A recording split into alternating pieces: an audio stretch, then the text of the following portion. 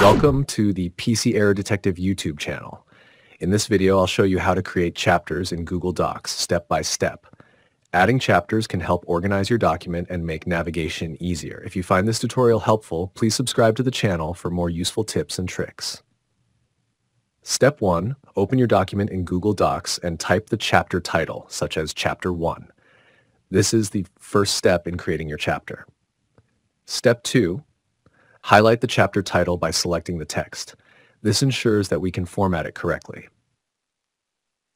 Step 3. Navigate to the toolbar at the top, click on the Styles drop-down menu and select a heading style such as Heading 1 or Heading 2. This step will format the text as a chapter title. Step 4. Once you do this, the chapter will automatically appear in the document's outline, which is visible on the left side of the screen. If you want to add another chapter, follow these additional steps. Step 1. Place the cursor where you want to add the new chapter in your document. Step 2. Click on Insert in the top menu bar. Step 3. Select Break and choose either a page break or section break. This creates space for the new chapter. Step 4. Type the new chapter title, such as Chapter 2.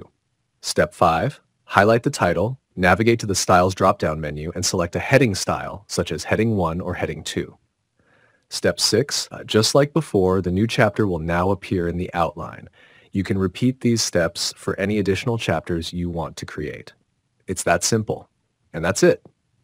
Thanks for watching.